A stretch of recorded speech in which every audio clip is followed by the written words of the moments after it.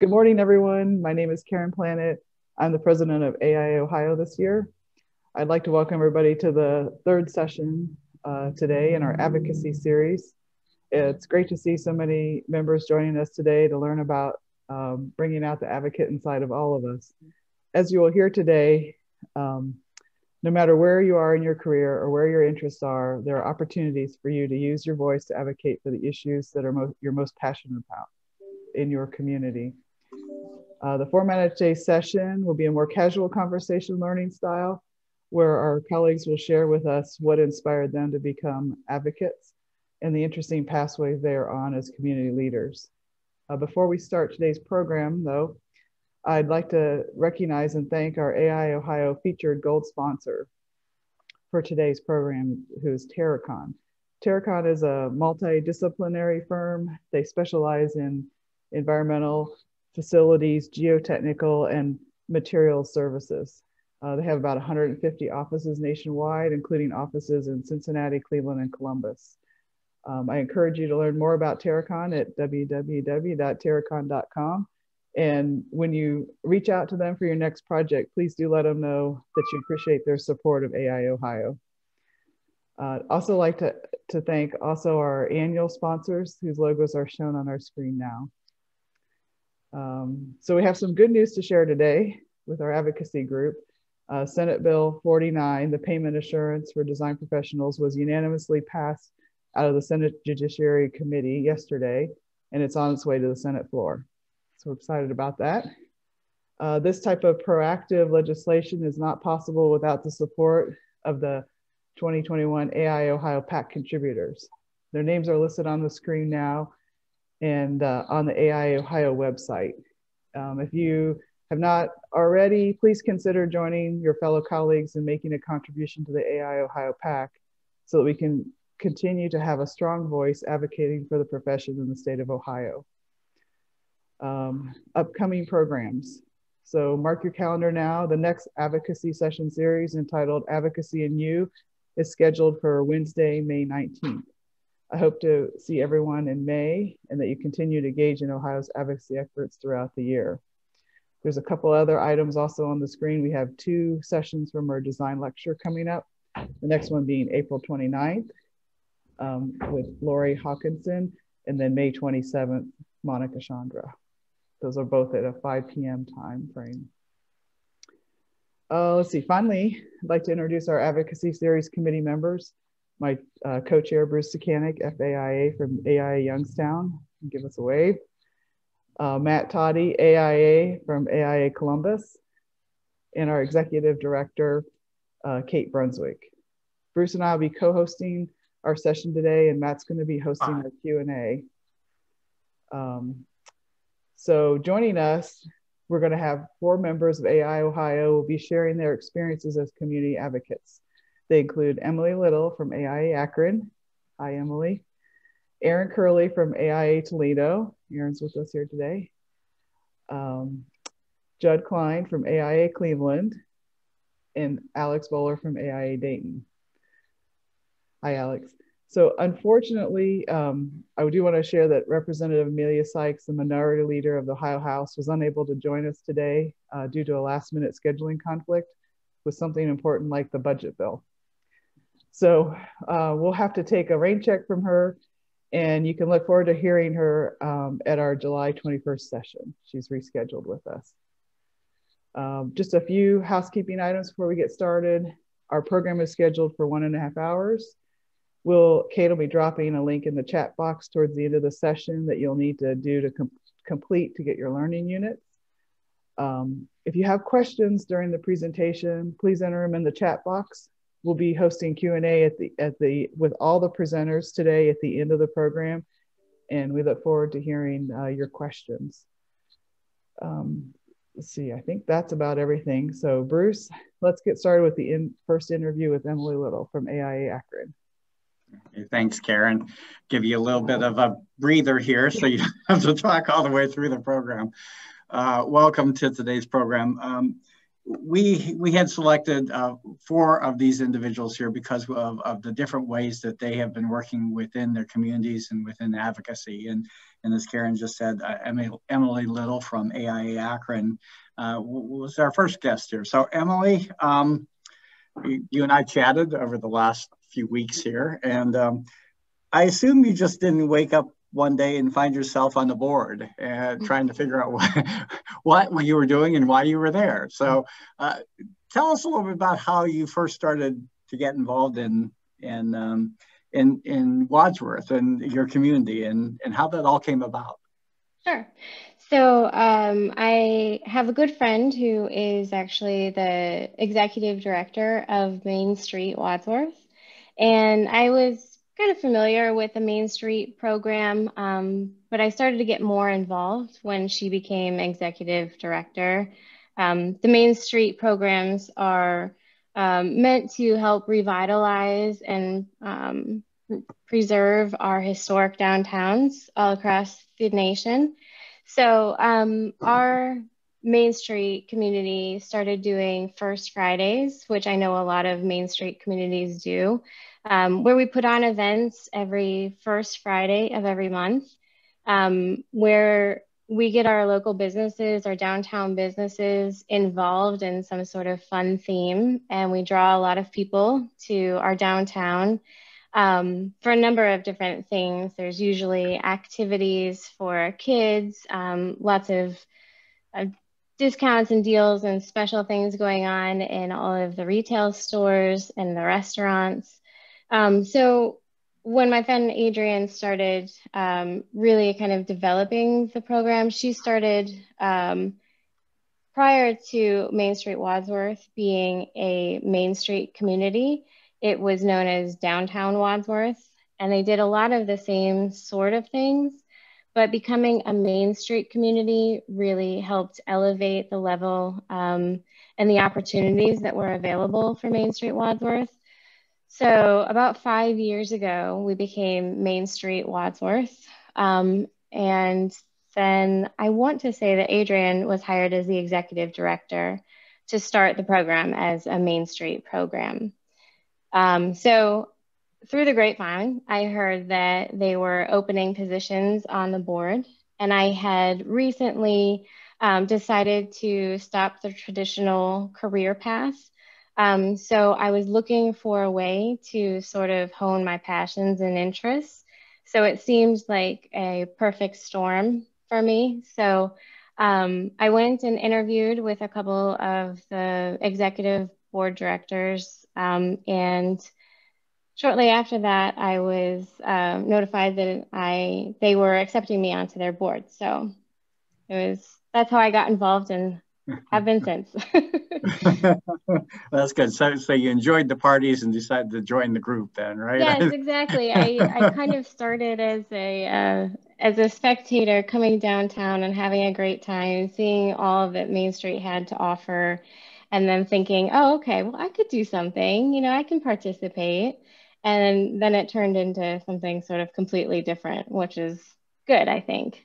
Right. And it probably doesn't hurt that you know your background has been in preservation in many ways, and that's really closely tied with what you're doing with the Main Street program in Wadsworth. So, very true. I'm sure if everyone knows that, right? Exactly. So, um, so you enjoyed the events. Uh, um, what did your involvement mean for Main Street Wadsworth? I mean, how did it change things? yeah, so that's a that's a good question and a good point that I think everyone here in this meeting um, needs to hear. Um, when I started, when I interviewed uh, for the board position, I had asked the question, do you have any other architects or designers on your board? And have you? And in their time as a Main Street community, which had been two years, but the, even prior to as a downtown Wadsworth community, um, there hadn't been architects or designers kind of leading the charge. And the Main Street community focuses on a four point approach where uh, you have four different committees that make up the organization. You have an organization committee, which sort of um, handles a lot of the um, behind the scenes administrative sort of things. You have promotions, which is the party planning.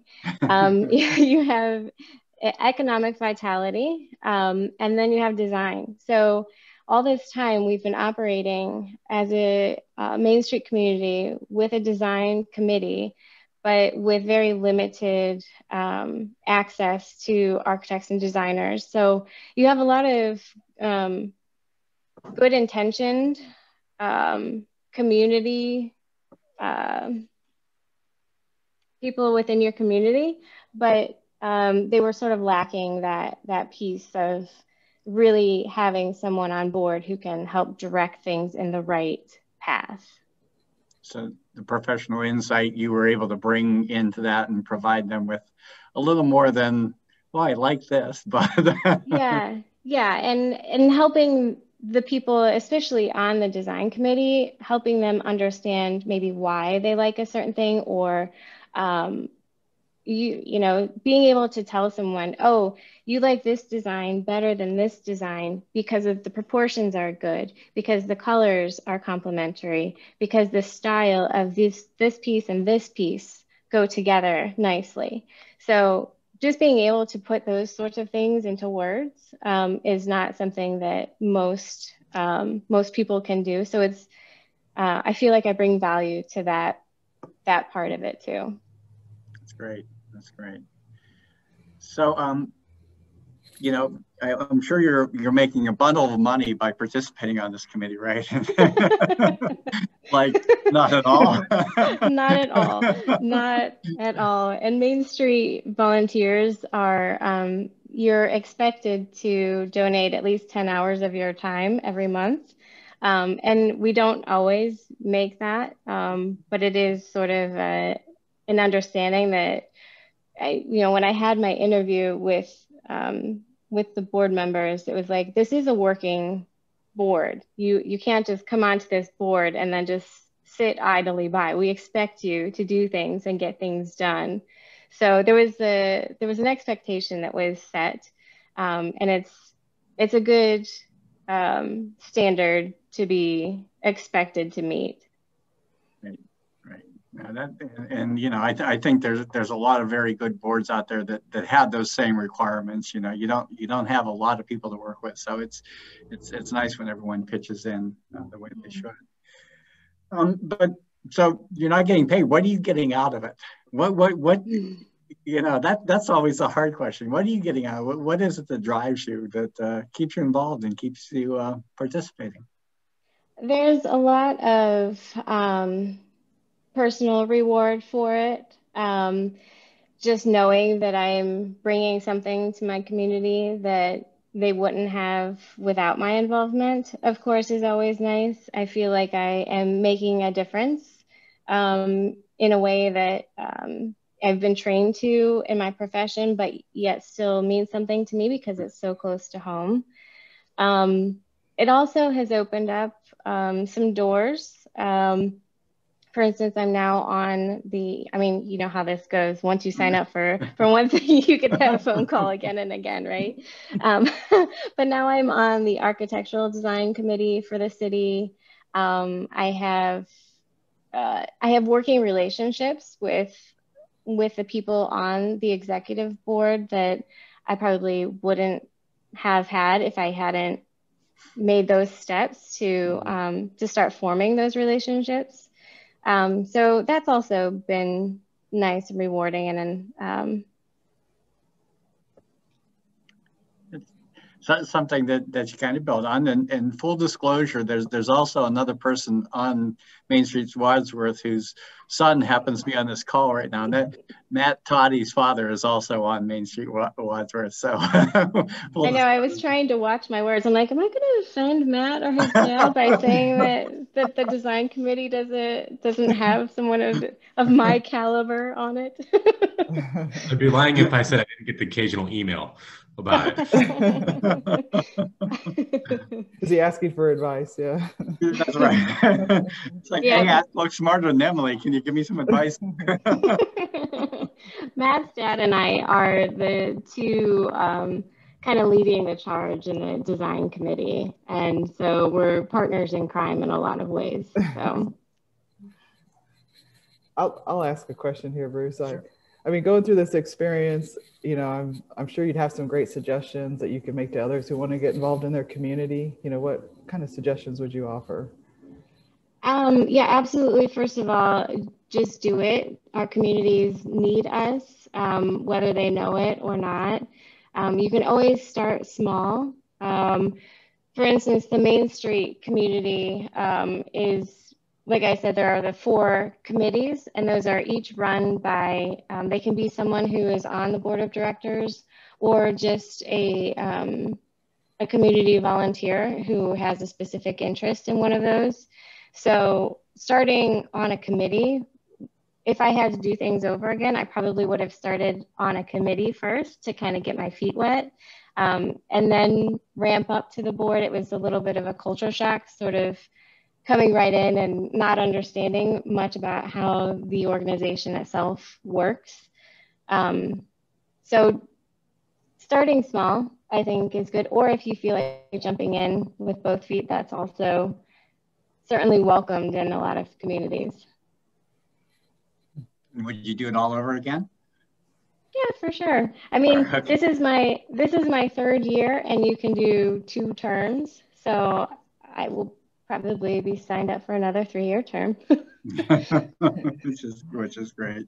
Well, we, we appreciate your insight on this. I, I think you know it's it's great to get out in the in the community and and do the type of things that, that you're doing. I know very many cities are all set up differently, and, and that's maybe part of the challenge is to finding out where where you can go and where you need to be. But uh, I think basically through your comments is it's just reach out and try to find uh, find that place is, is would be the, the, the best way to get involved. So uh, so let me ask you one last question here is um, your involvement, what has it done for the profession of architecture? Do you think it's had an impact with those within the community and on the board? Um, have, have you being there, has it, has it raised, um, raised awareness of architecture and architects?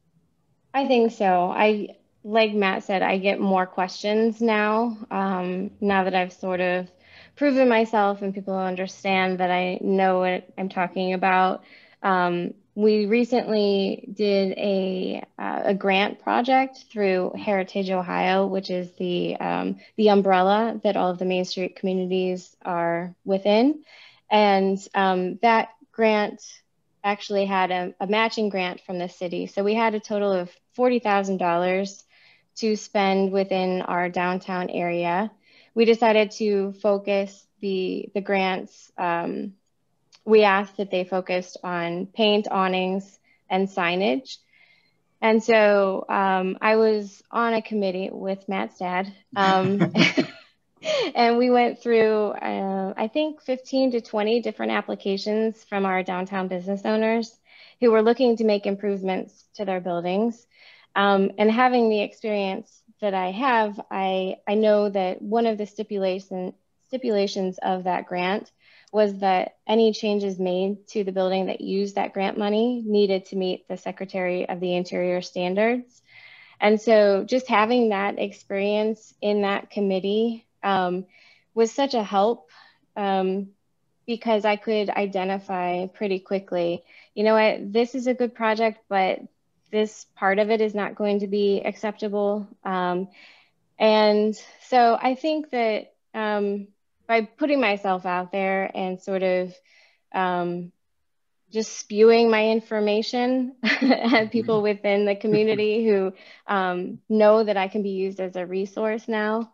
Um, I, I, think that has made a difference for sure. Well, great.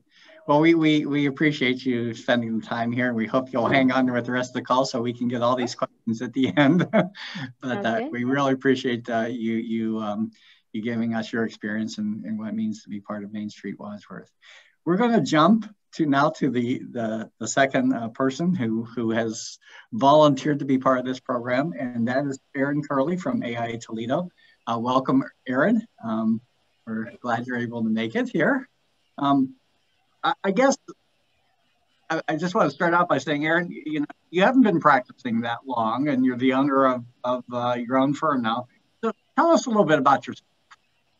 Um, yeah, I so I became licensed in 2016. Um, but I believe it or not, I actually have 20 plus years experience in the industry. Um, right out of high school, I started with electrical construction. Um, and then I, during my undergrad, I ended up placing in a firm where I spent um, my first 10 years. Then I jumped around a little bit and decided it was time to do what I really ultimately wanted to do, which is start my own firm, um, which has been a passion of mine since high school. So um, grew up in Michigan, Ottawa Lake, Michigan, which is just over the line from Ohio. So Toledo has always kind of been my big city home.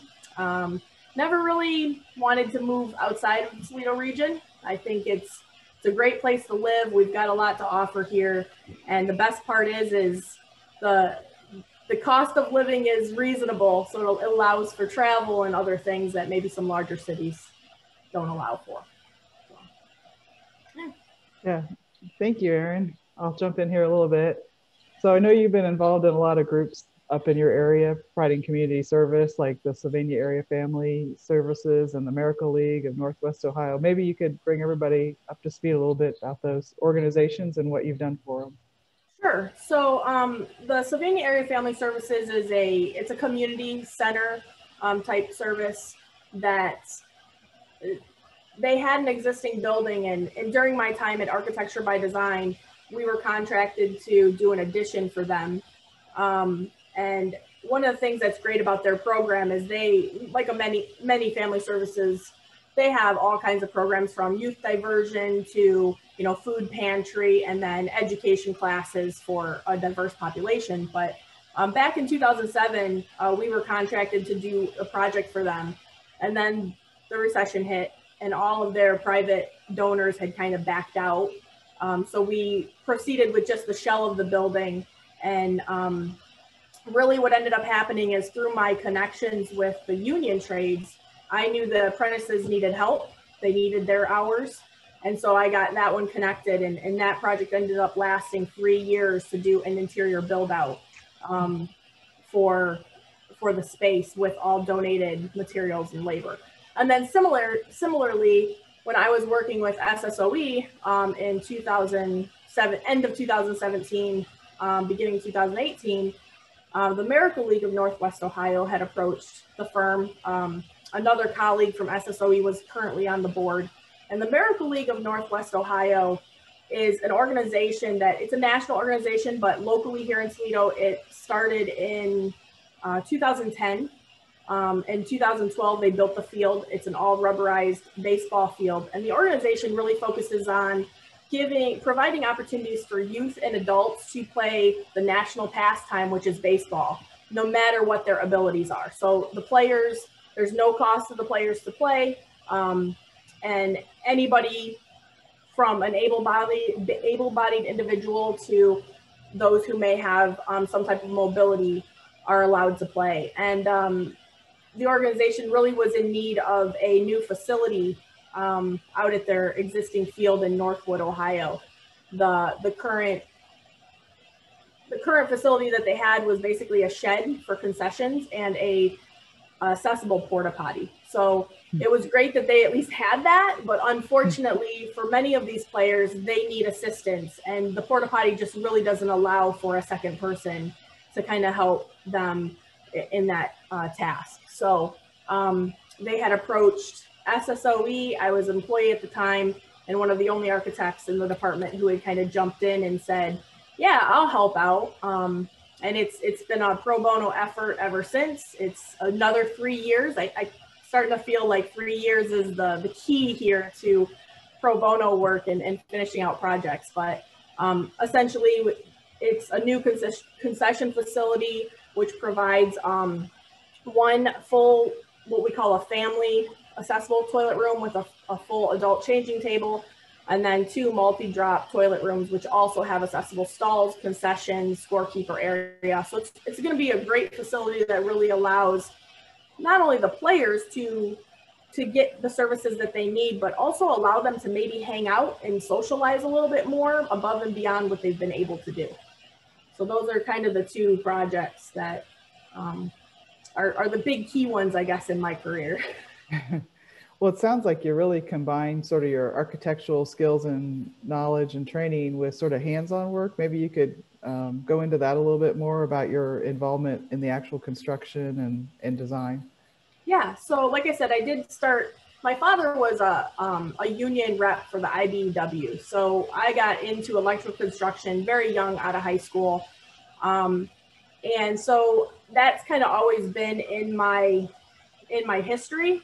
Um, and when as I transitioned into architecture, and these specifically these projects came up, especially with Sylvania FAM, a lot of times when you're working on projects such as these, very community oriented, very volunteer based, I've always been of the the mindset that you can't just leave it up to everyone else. You have to be be willing to get your hands dirty as well. So specifically with Sylvania FAM, I mean, I was up in the truss space, insulating, you know, putting up Visqueen, putting up baffles, um, cutting ceiling tiles, all, all the things that you do to just how can we cut costs, what can we do ourselves.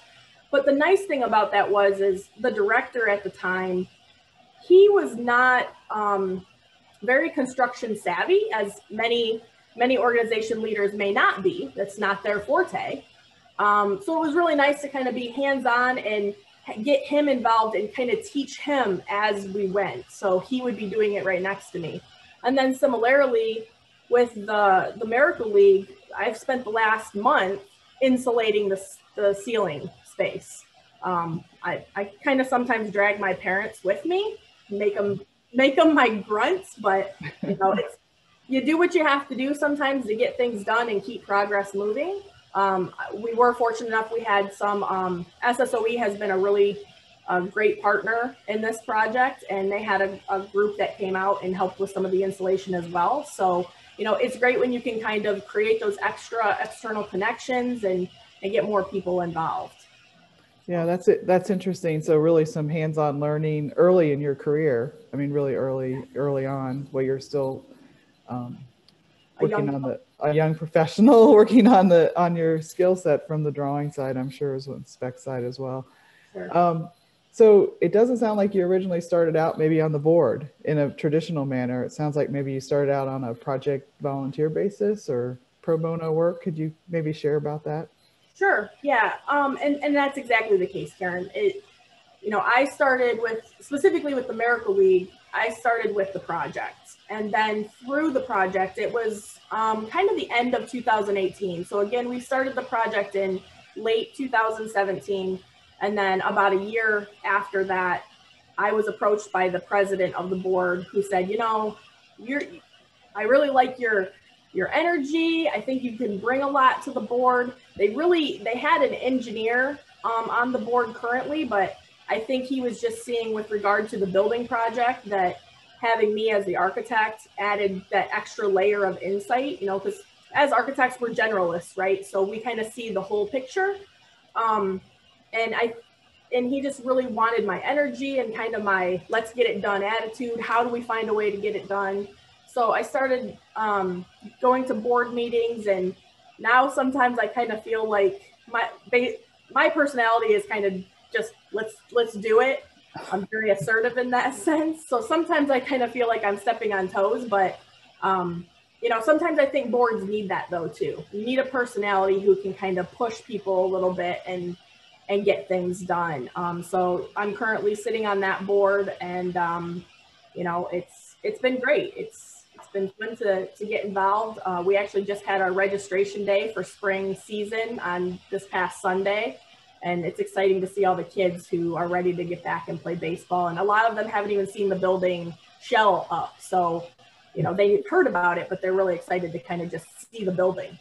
That's got to be pretty rewarding as a volunteer. So um, you've you've given a lot i mean to these different community organizations but there must is there anything that's come back to you or things that you didn't expect from getting involved in these type of projects?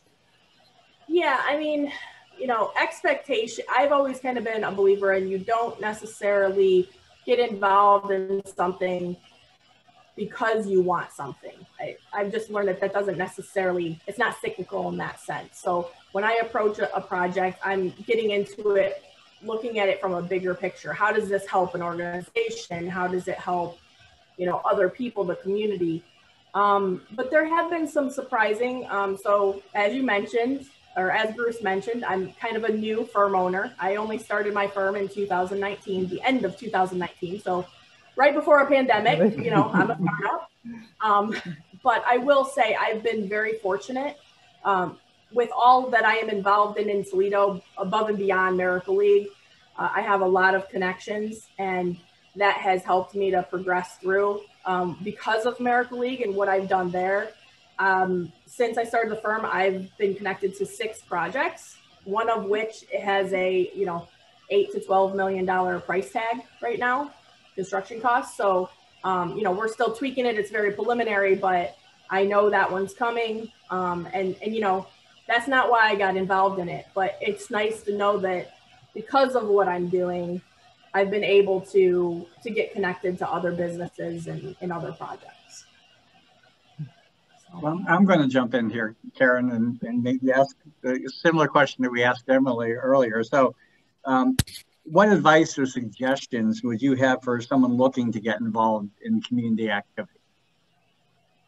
Um, I, I think there's a couple. So, I would say there's a couple things. Number one, do a little bit of research. I mean, I'm kind of a yes person. I've been known to just say yes. I have a hard time saying no, which has beat me up a lot in the past. um, I will say that the past year, I've really started to take a step back and started to evaluate that. But one of the things that has come from that um, personal insight is, you know, really take a moment to evaluate what the ask is of, of somebody if you're approached or if you have an interest take the time to really research what the organization is and understand yourself what is your passion don't i've i've always been a very firm believer in i never want to be a part of something just for a title or just because it's going to build my resume i have to feel that i have a purpose I have to know that I'm valued. And I have to, most importantly, I have to know that I am giving back in some way or another.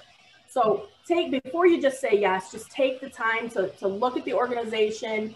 And if you, if your passions align and the values align, that's when you're going to be your best.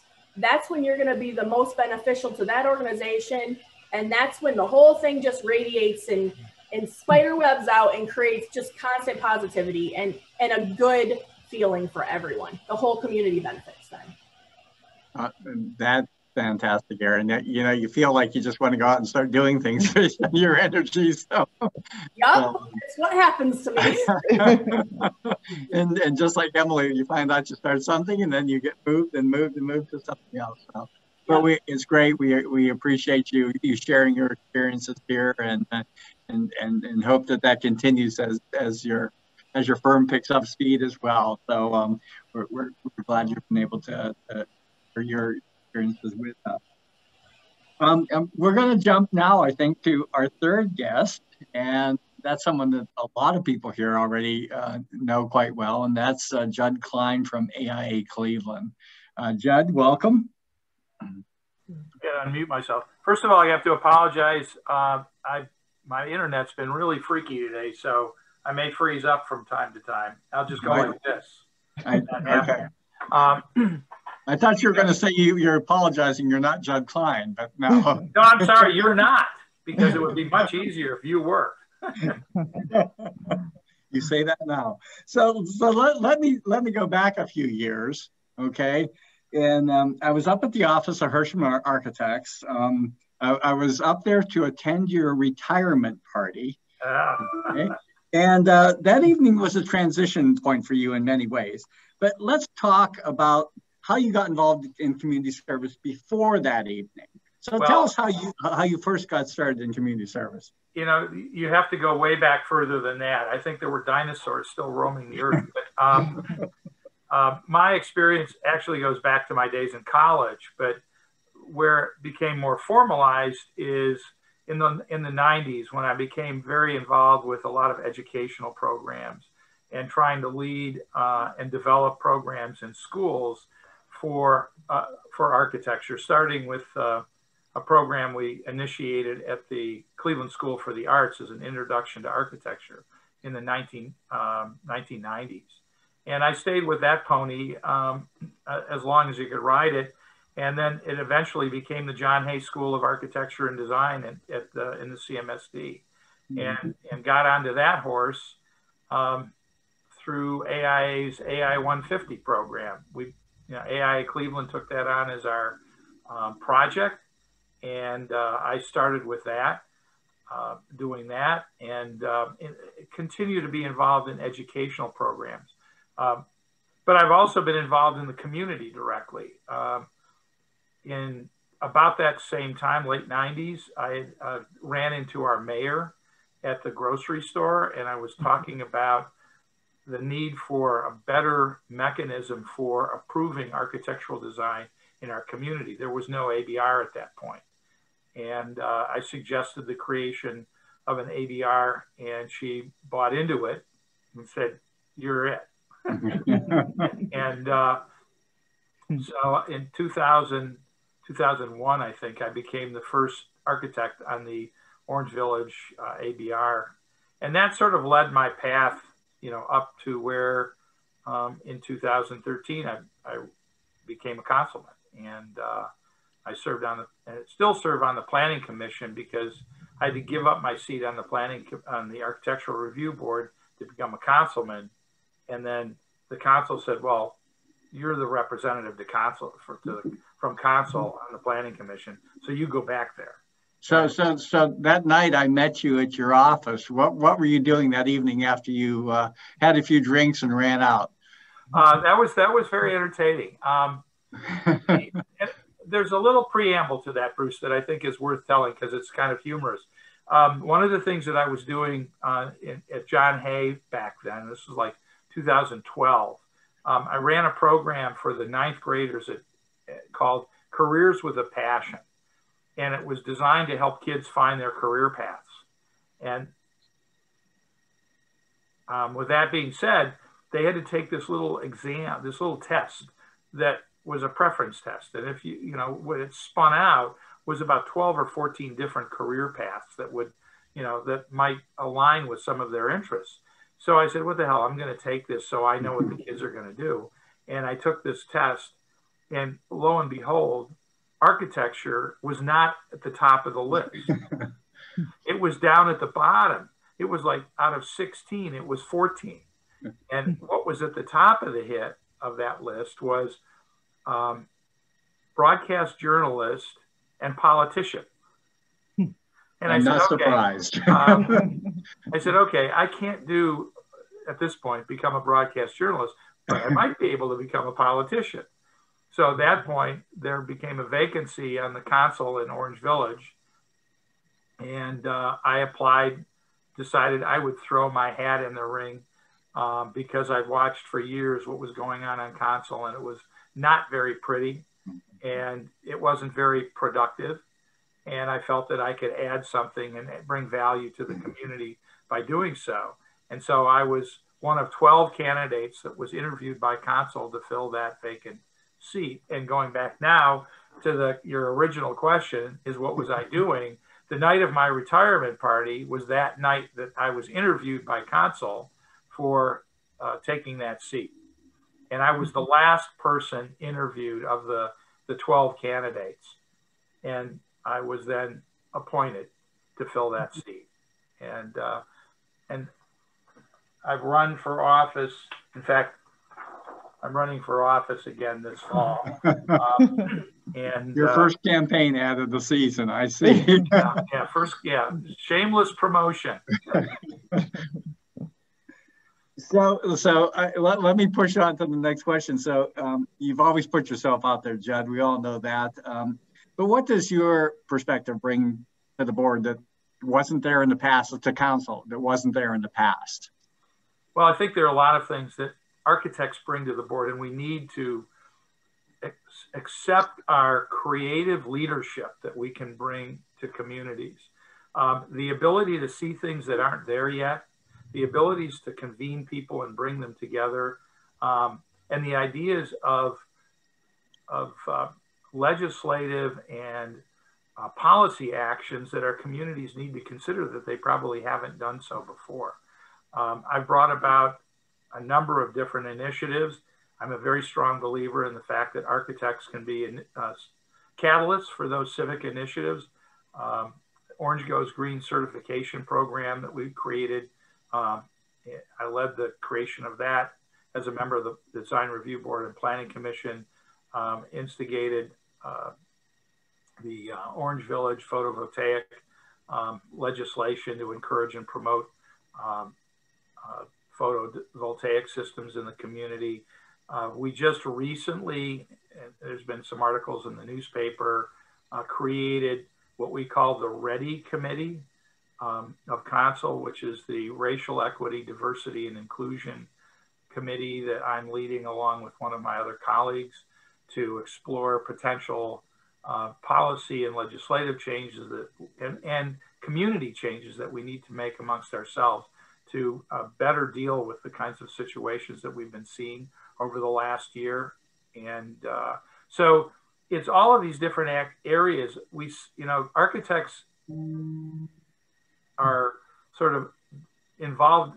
Everything that we see, we're interested in, and and the ability to bring that together for the community and enable them to see what they need to see to accomplish it. Things like the Pinecrest development that has been so transformative to the community. Uh, I was involved with from day zero in, in, in promoting and developing that and continue to be as it goes on. And I, uh, we just have so much capability that we have to be willing to share and not be afraid to step up and be in front of the community.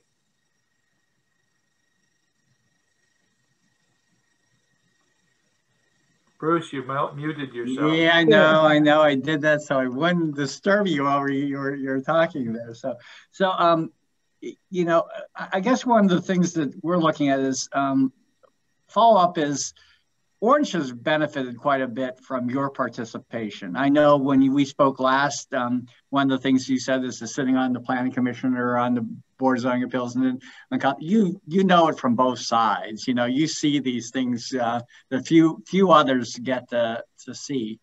Um, how have you benefited uh, from this? You know, and I'm, I'm again, I'm, I'm just like Emily and and and uh, Aaron. You know, I'm not talking about you know, in, in ways that you've got business or things like that. How have you benefited from there's, being part of this? That you know, I've seen the world from both sides now, and and uh, you know, stealing some.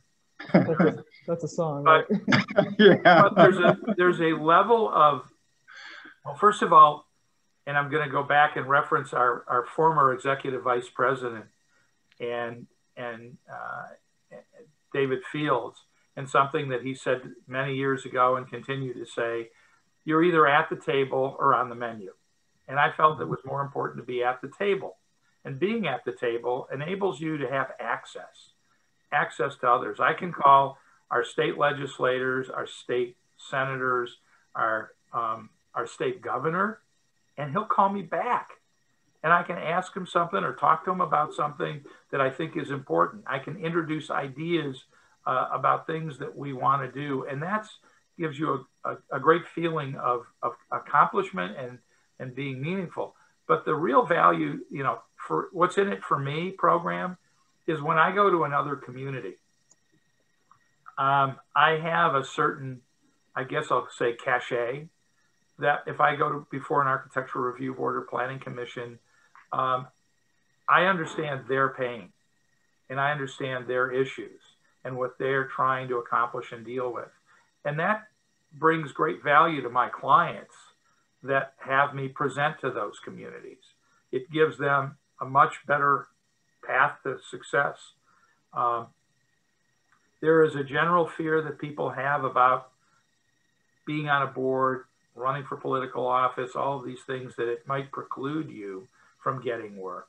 But on the other hand, it enables you to get work because people see you in sort of an, a, an elevated state. You're out in the public and there, there may be some conflicts and I've had those issues that have come up and I said, I really can't take this project because it would, you know, it would appear as a conflict of interest.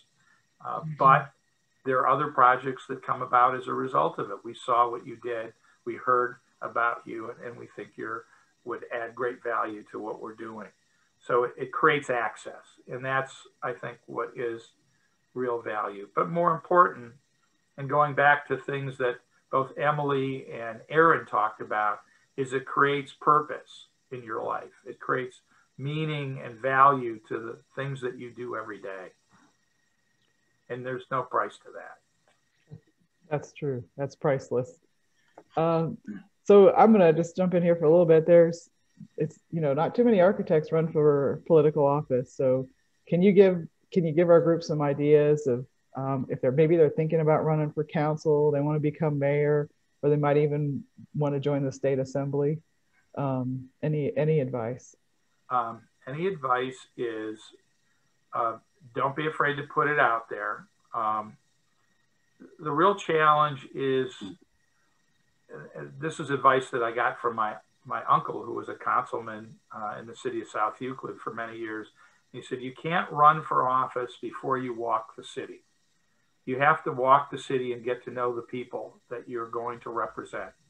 So, the first thing you need to do is understand what you're passionate about and what's meaningful to you, and then figure out what's meaningful and passionate in the community. And you do that by talking to your your friends and neighbors uh, in, in the community and determine whether you have something to something to contribute, which you do. Each and every one of you, each and every one of you has something significant to contribute to your community and ought to be doing so in some way or fashion.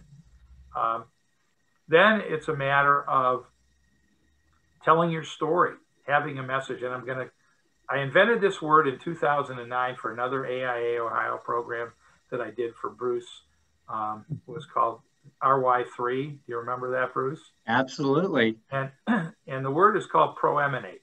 I was just telling a, mentee about this today. Proeminate.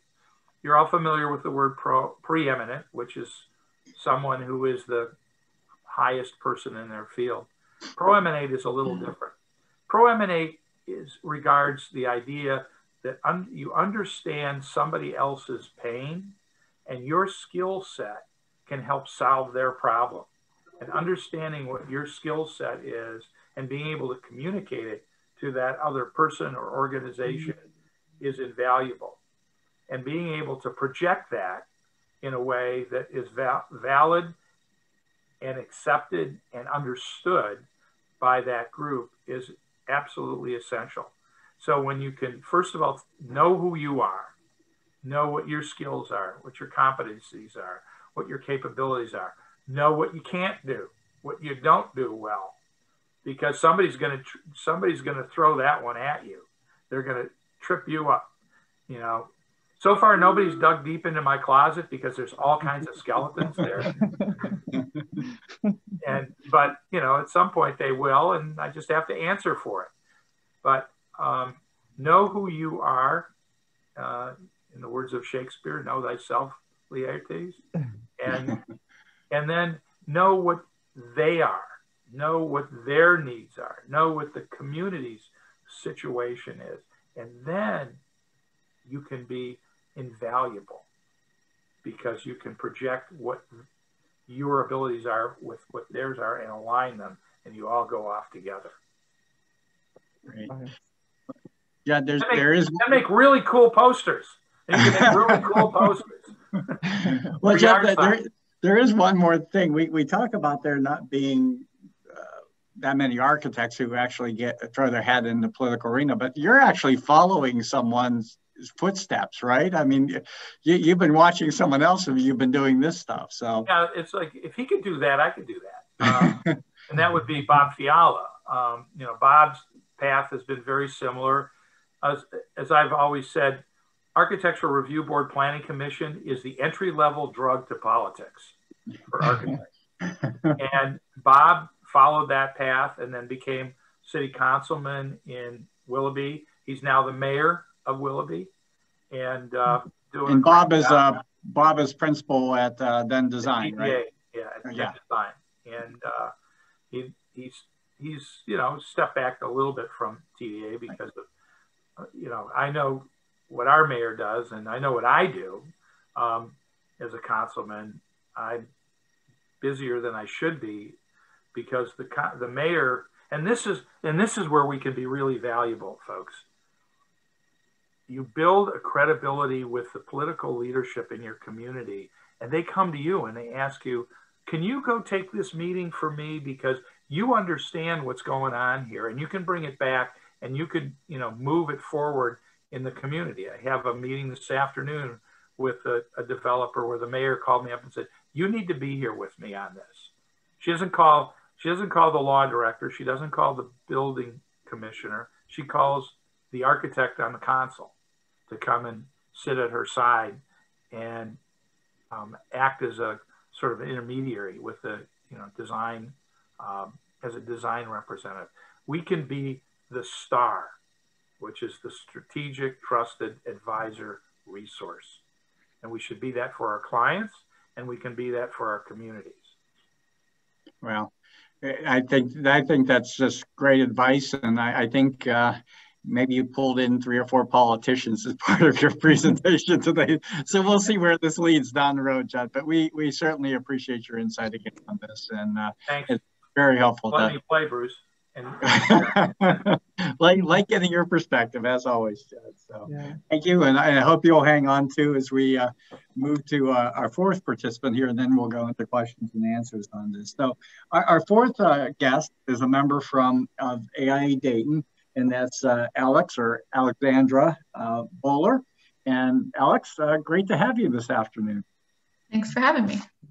Good. Good to see you. And um, we, we talked uh, last week a, a, little bit about your path, and um, it's a little bit more twisting and winding than some of the ones we, we, we heard here earlier. So you want, you want to tell us a little bit about your path to, that got you from where you were at to where you're kind of really now finding, you know, your, your really your niche, I would say?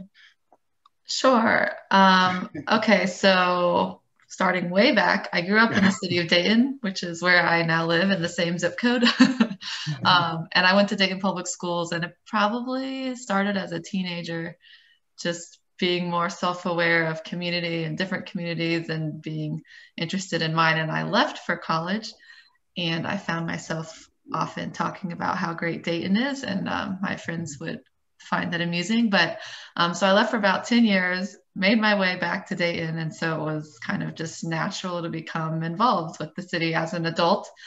Um, the so I I, I guess I was involved. I got I got asked to come to AIA Dayton as part of a board member. So I've been involved with that off and on since moving back, which I moved back in maybe 10 years ago. Um, and then I was on the City of Dayton Landmarks Commission. So they have very specific slots for architects and designers on their plan board, um, BZA, and Landmarks Commission. So there aren't a lot of architects that live in the city of to fill the slots. Um, so I thought that'd be a fun thing to do. And I live in a historic neighborhood as well. So it seemed like a good fit. So I did I actually filled someone's term, finished their term, and then I did a three year term. Then I had a couple kids, so the, the time commitment shifted a little. Um, but there was also an organization that formed while I was gone for the 10 years called Up Dayton, which um, was geared towards attracting and retaining young professionals to the Dayton region. And they have an annual, like, big summit that basically um, every a large group of people met. They came up with all these ideas. It's kind of like a, an ideas charrette but um, in a different context. And so i would go to those and then join the committee that was working on a particular project that i thought was fun. A lot of them were beautification projects. And then i eventually was on the board of Up Dayton so so those were kind of my main three things i guess landmarks Up Dayton and then aia dayton. Um, but all of that's kind of circling back to what Bruce was alluding to. So during that, I was working at different firms around town. And then um, I started my own firm. But most recently, I've started a nonprofit with a couple people who are on this call also are on the board. Um, so we are focused towards K 12 workshops, education geared towards um, architecture and design, very in line with what Judd was talking about.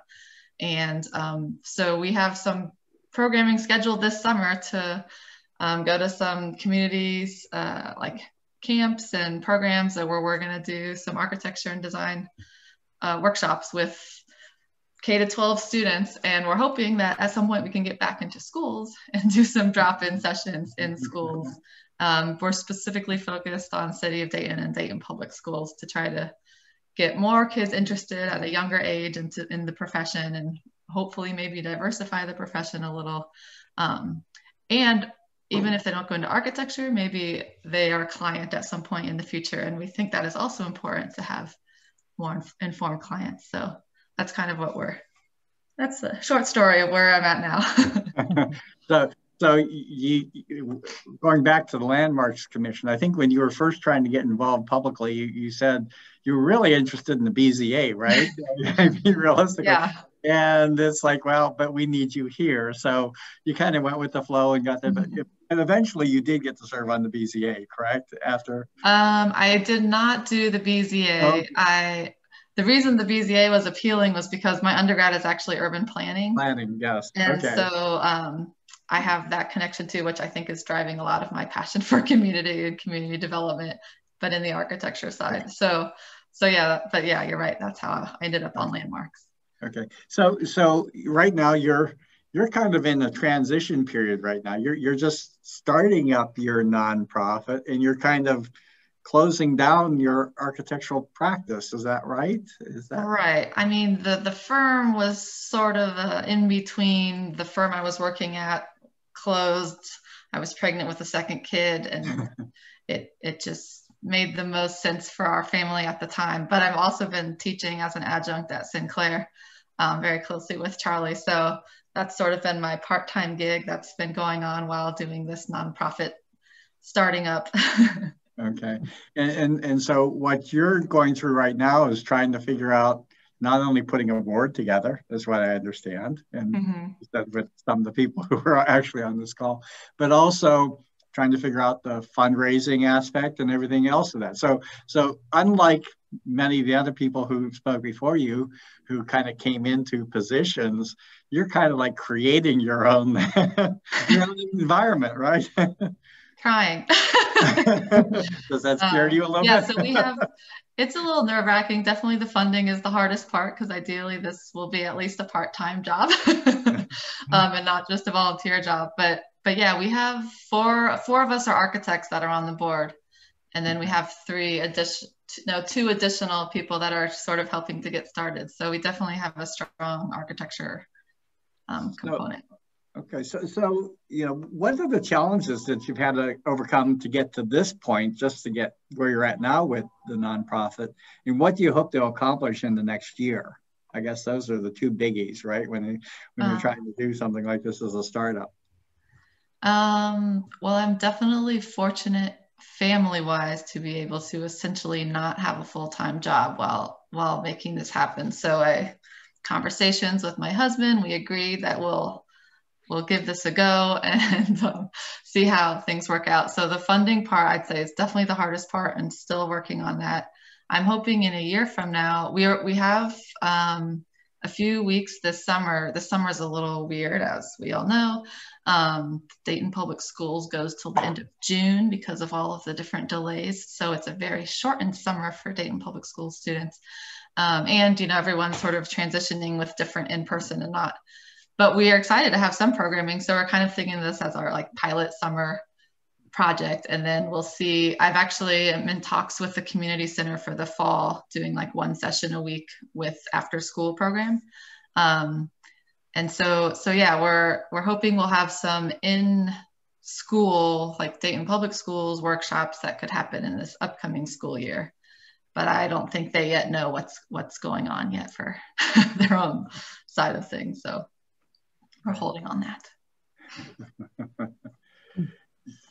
so what made you start the nonprofit is it something that you saw while you're teaching as an adjunct at Sinclair, or is it just your experiences within the community, or a combination of both? Or yeah, good question. So I guess growing up, I did not know any architects.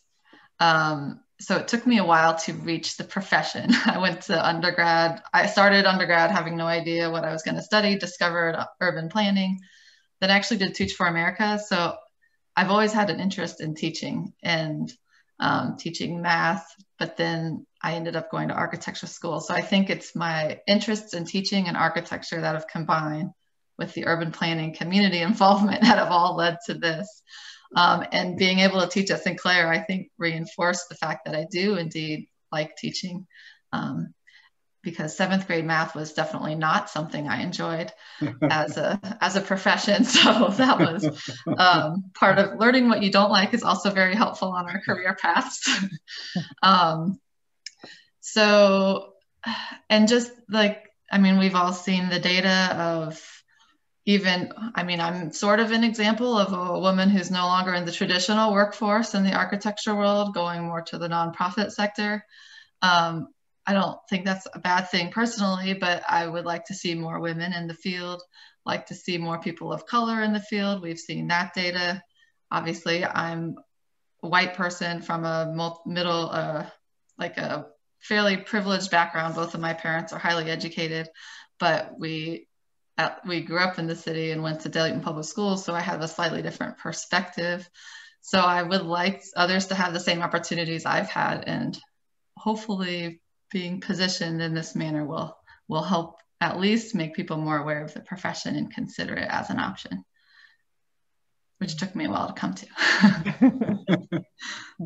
You definitely put all the pieces together. It was a long i think it was right it was a, quite a process but you, you you've melded them all together into this and we really look forward to hearing you know how when you move forward how this how this goes and wish you luck um, Thanks. You're in you're in the early stages, but do you have any advice for somebody else listening today about, you know, some type of a similar path they might like to take or what? Um, I guess some of the so having gone through starting a business and a nonprofit, it is significantly easier to start a business um, in terms of all of the bureaucracy, logistic things. So um, but it's but it's possible. The resources are there and like the actual making it happen and becoming a real thing on paper um, definitely reach out to people that you know ask questions and it, it can that shouldn't be the barrier. Like that's achievable. Um, so i but i'm fortunate that i have a variety of people i can reach out with that i've asked questions of to help make this happen so definitely use your resources and networking through all these different things I've done over the years has been a huge help in getting to know the people and the people that I've recruited for the board um, met along the way as well. that's great. Yeah. Thank you for sharing that with us today. I think that's probably new information and a new concept for a lot of a lot of people listening. It's it's pretty interesting for our profession, I think, um, as well. So, so we're excited.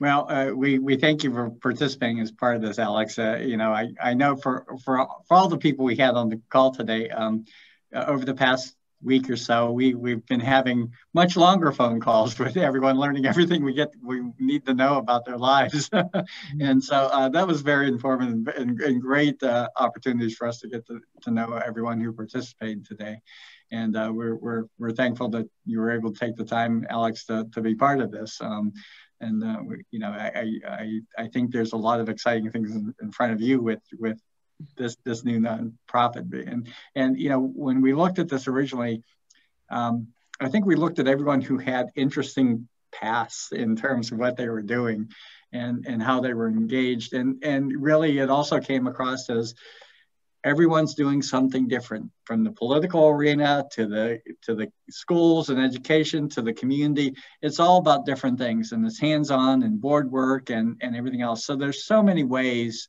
that we as architects as individuals can get involved within our communities and i think that's uh that's that that really through your stories i, I think was uh, something that i think think became very apparent to to those listening today. So um, Karen, unless you have anything else, I think maybe we can kind of push this over to Matt and see if uh, if there are questions that uh, we want yeah, to pose to. Sure. Just one quick comment um, yeah. before we start the Q and A. There is a the link has been posted for um, in the chat, and any questions that you might have of all four, we'll get started. But um, please, you know, raise your hand or let us know if you'd like to ask a question of our panelists today. So over to you, Matt.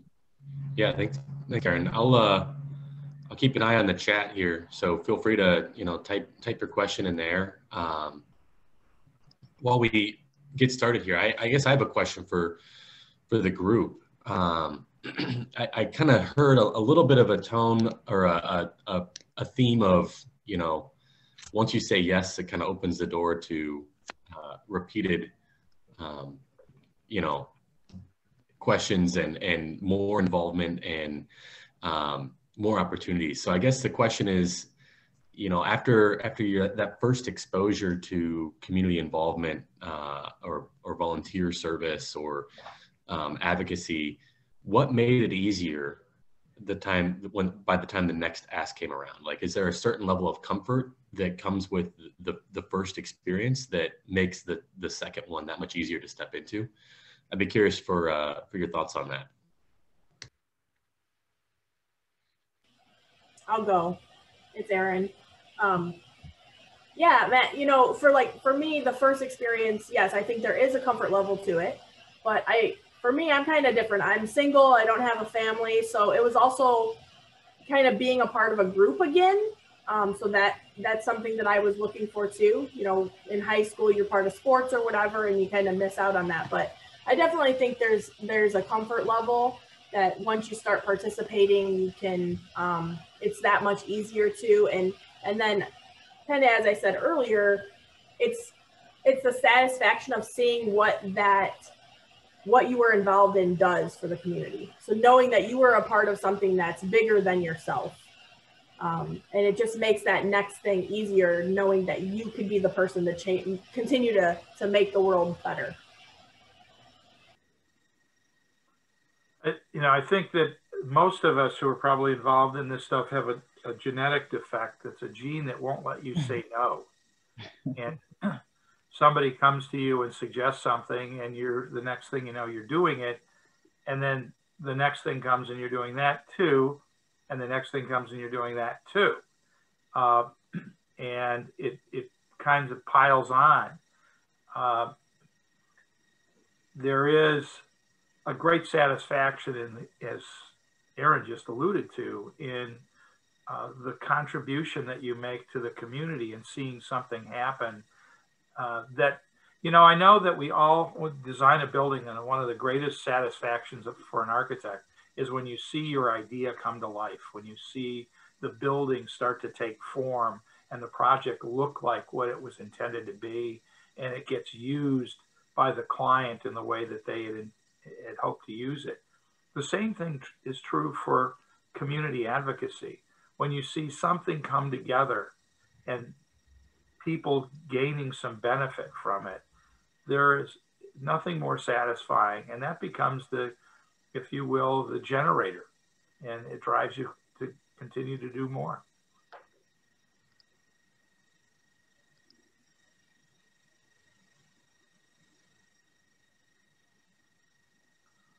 But in answer to Dave, Dave uh, Robar's comment in the chat, um, which is if is your yes doesn't mean as much if you don't know how to say no. Um, it's it, it depends on what you bring to the table. You know, there's a brilliant statement. Um, people don't care how much you know until they know how much you care, and we have to we have to spend time demonstrating our caring uh, in in the community in our work uh, bringing our own personal passions to it, and those get observed.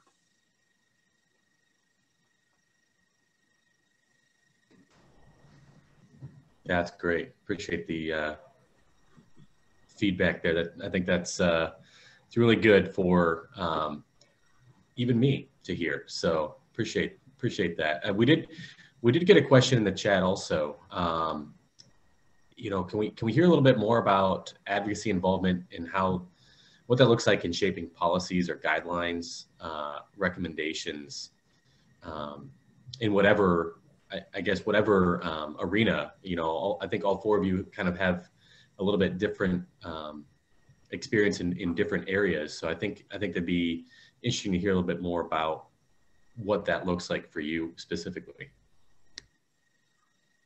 I have a very tiny example from when I was on Landmarks Commission. Um, the issue of solar panels came up that hadn't really been addressed before, but solar panels in historic neighborhoods can be a little controversial. And so we had a rather large debate over multiple meetings um, as multiple groups were trying to put solar panels. And so we, we ended up sort of redrawing, rewriting, I guess, the policy of what previously was allowed as solar panels in historic neighborhoods to a new one that sort of fit more 20, whatever year that was, 2018 or whatever. Um, but it, it took some convincing of and and we we allowed more solar panels than originally were but but it also became more clear so there would be less up in the air uh, in the, in this last year of the pandemic going on one of the things that i was have been involved with is um, in northeast ohio has a group that is the uh, northeast ohio arts and culture caucus and they have two subcommittees, placemaking and public policy. And I became the chair of the public policy subcommittee and was involved in uh, promoting the legislation that has led to the Save Our Stages Act in Congress and wrote letters to our um, senators and as a campaign representing um, communities of Northeast Ohio to uh, get funding for those uh, venues that were going dark because of the pandemic and how do we support them? And and that has, you know has been great to see that happen to actually see that funding come about as a result of that effort. Um, to alexandra's point um, i wrote legislation in our own community because we felt everything that is not in the zoning code you can't do if it's not there you can't do it and so I felt that the opportunity to install photovoltaic systems in homes was pretty valuable today and going forward.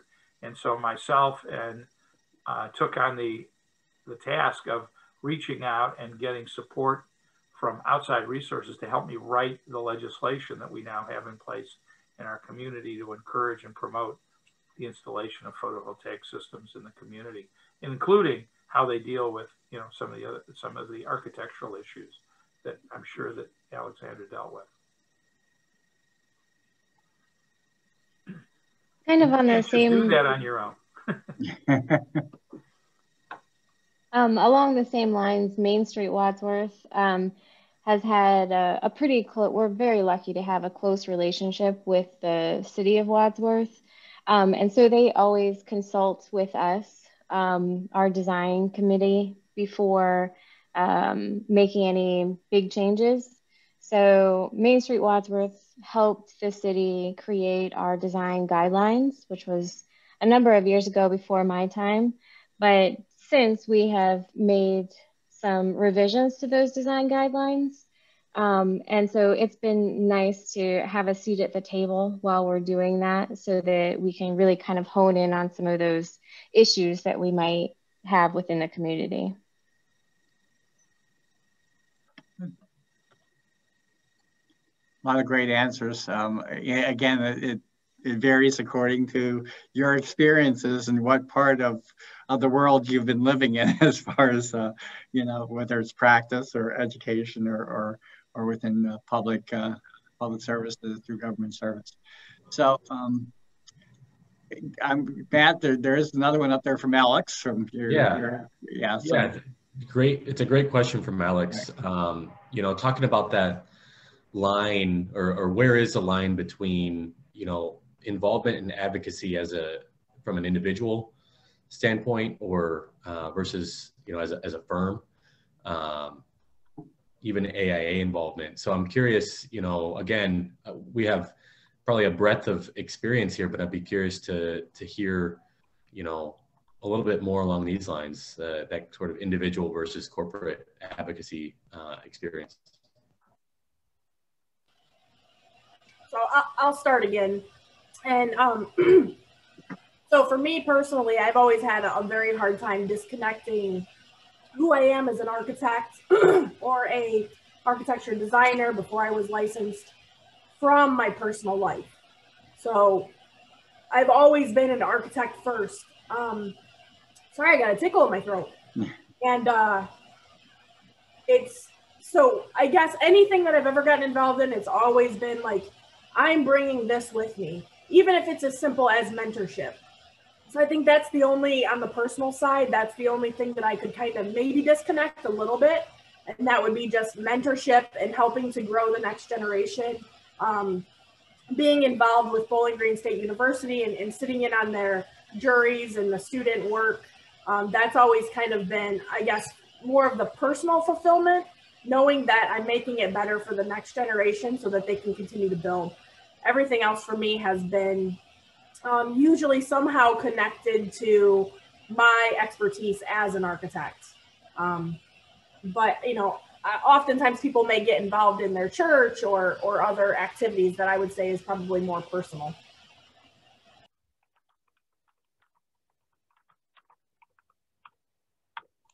Other thoughts, Judd, Emily? Um, first, the first thing you have to do is decide what you're passionate about where where are your where do your interests lie? Um, whether you're doing it as a firm, uh, you know, back in the day, we had a community uh, service committee at Hirschman Architects that several of us sat on, and we decided what were the things that we wanted to do that we felt were valuable to the to the firm and to the community, and then you know, what are you personally interested in, and that you know gives you the impetus to start to think. You know, you go back to that pro-emanate concept that I brought up before, and it mm-hmm. works both at the firm level and at the individual level. So decide what you want to, what what is me will provide meaning to your life and to the activities in the firm, and just do it. Use the switch. I would say for me, it was completely individual. Sometimes uh, against what the firm may have desired. If so, it was not necessarily promoted by the firm. Um, usually, AIA involvement was acceptable, but beyond that, it was all individual. And I didn't work at any firms that did any any pro bono work or or any sort of specific community. Besides being on some boards, but I felt like it was primarily for potential work. yeah. Emily, and your, your thoughts on that? Yeah, I was just going to say my experience was sort of unique coming in as an individual, um, but carrying the experience of the firm behind me.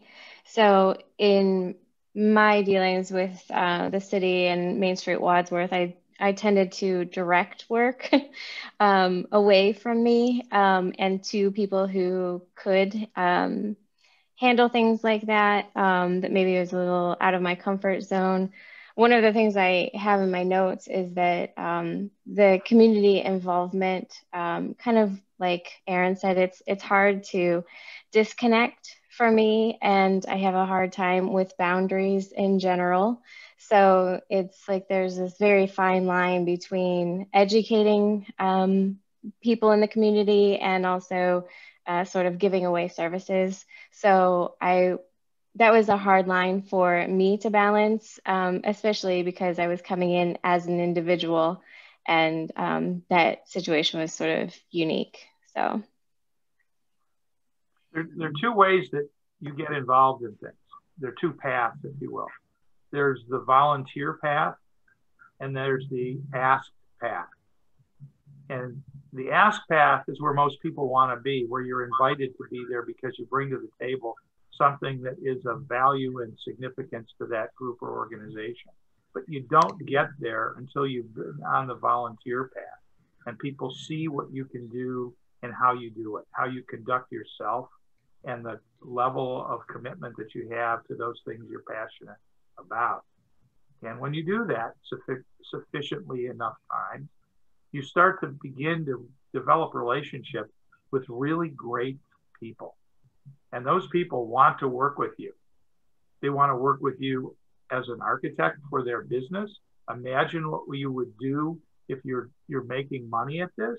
And they want to work with you in the organization because you have great ideas and you and you're willing to contribute your efforts in advancing that organization's objectives.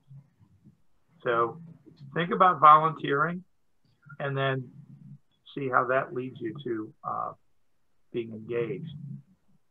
Yeah, and Judd, I just want to piggyback real quick since you brought up volunteering. One, this is just one of the things that have kind of rubbed me wrong of late is, you know, volunteering is giving of yourself, not because your your firm is paying you to volunteer. That it it doesn't necessarily progress. It doesn't radiate the same passion. If you're being paid to do something, even though it may seem fun, you're not truly giving of yourself. So you're it's kind of like I was saying earlier, it doesn't radiate out and create that positivity. So to truly volunteer is to do it of your own free will with no incentives or, or anything coming back other than some, some of those end up being voluntold. right, exactly. You're going to do this. You're on this committee. You're going to be part of it. That's I'm the way a lot of things in life works, right?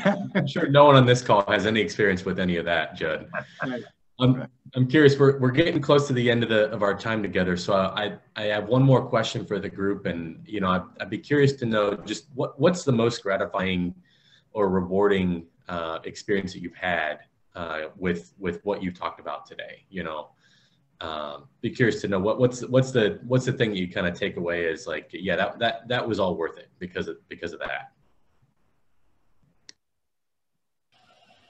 It's it's the expression on people's faces you know when they see it. So as i was i talked a little bit earlier we had registration day for miracle league just this past sunday and the, a lot of these kids haven't even seen the building but just seeing their faces as we talked about the building knowing that the building is built for them, you know, and when they see it at the first game on May 2nd, just watching their face and them knowing that this whole thing was done for them, that's that's what's important. Knowing that you you've impacted, it doesn't matter how many hours you've spent or the headaches to to fundraise the money to get it built.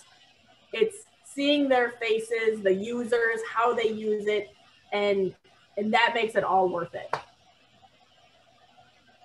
Judd?